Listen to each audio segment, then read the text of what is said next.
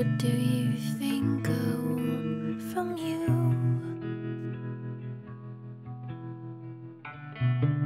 What's it seem I'm getting?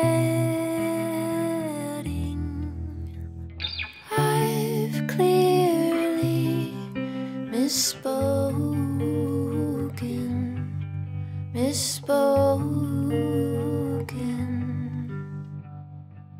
It was a grave miscalculation, an afterthought that led into an unexpected lack of patience from me.